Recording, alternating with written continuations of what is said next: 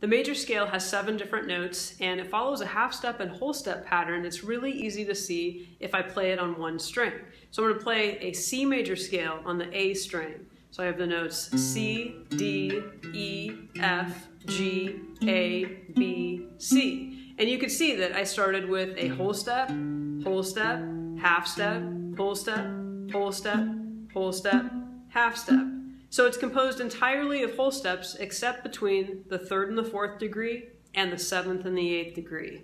And I can take that pattern and start on any note and I can create that note's major scale. So if I start on G, G, A, B, C, D, E, F sharp, G. I could start on B flat, B flat, C, D, E flat, F, G, A, B flat. And I'm calling out the note names as I go, which you'll do on paper.